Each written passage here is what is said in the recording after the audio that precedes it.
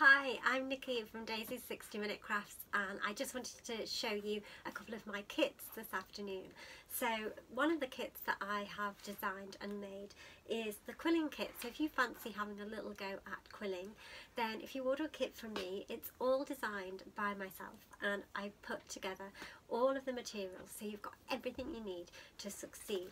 And these are the lovely little fridge magnets that you can make uh, with this craft kit which is available on my website. Another of my kits that um, is out of stock at the moment but it's um, been a firm favourite is my little tea lights that you can make uh, using decoupage and tissues. Now using tissues for decoupage is a little technique that you need to get to grips with so you can make really great results and I'm going to do a little technique video now to show you.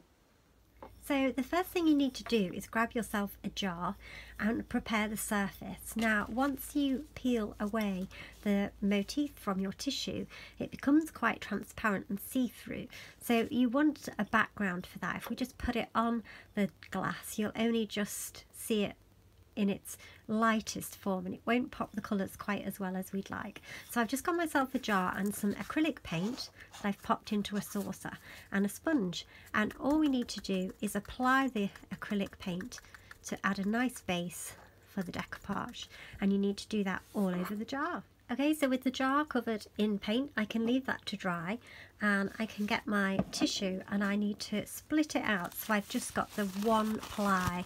I don't want any of the back layers of the tissue. So just find the edge of the tissue and pull the top layer away from the bottom layers.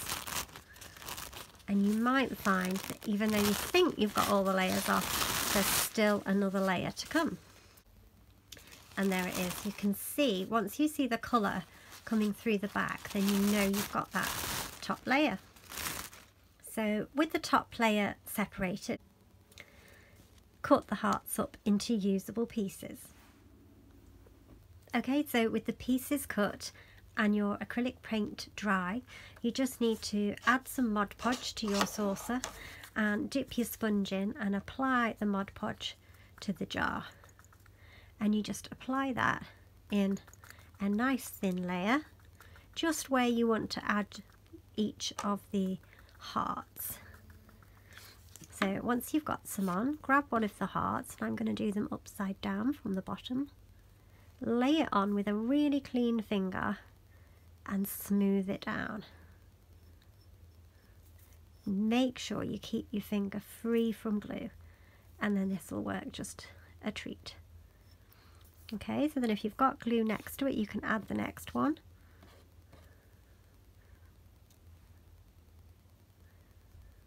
And flatten it down with your finger. And you just progress like this all the way around the jar. It really is as simple as that. And once you've covered it um, with all the heart motifs, then using a paintbrush, give it another good coat of Mod Podge to seal it all in. And you can add as many layers as Mod Podge as you want to make it as protective as you need the jar to be. Like so. Flatten it down and keep going. I think you're going to love giving this craft a go. So once you've completed a row all the way around one way start by adding another row um, above it. So I'm going to turn my hearts around this time add a bit of Mod Podge. And um, sure I've got it up the right way. And I'll do. And then pop it in.